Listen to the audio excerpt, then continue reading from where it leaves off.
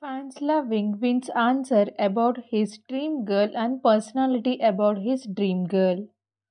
Indian interview when asked about his type of dream girl and personality, Win Win answered including boys.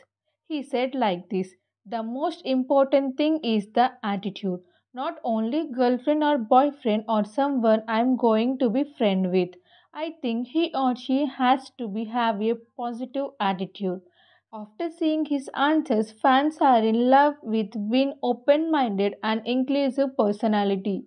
And you are uh, called a like Thai girl's dream boyfriend. Do you have any like a dream girl's type? I think the more important is about the attitude of that girl.